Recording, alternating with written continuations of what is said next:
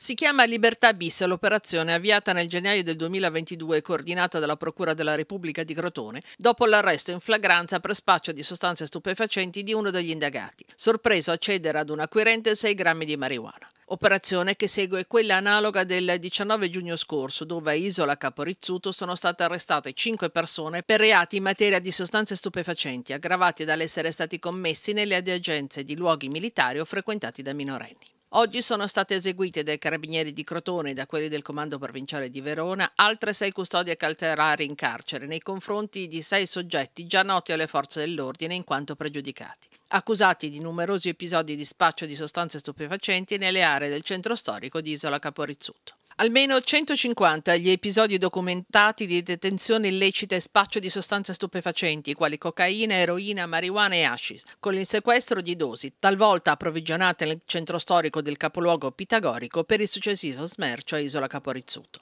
Al termine delle attività di rito, tre dei sei arrestati sono stati portati nel carcere di Crotone e gli altri tre presso l'istituto penitenziario di Verona, poiché due di loro vi si trovavano già detenuti per altre cause, mentre il terzo è stato rintracciato a Caprino Veronese, dove si era spostato da qualche mese per ragioni lavorative. Nel corso delle perquisizioni eseguite nei confronti degli indagati sono stati anche rinvenuti nell'abitazione di uno di essi 30.000 euro in banconote di vario taglio, sottoposta a sequestro penale in quanto ritenuto il frutto dell'attività di spaccio.